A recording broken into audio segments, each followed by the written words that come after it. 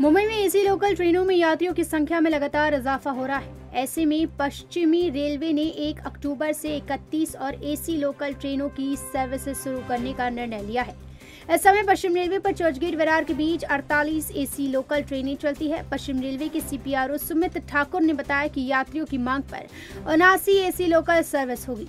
इसके साथ साथ नॉन एसी के 15 डिब्बों की लोकल फेरिया उनासी से बढ़कर 106 किए जाने का निर्णय हुआ है। उल्लेखनीय है कि एसी लोकल की सर्विसेज़ बढ़ाने के साथ नॉन एसी लोकल की कुछ सेवाएँ कम हो जाएँगी।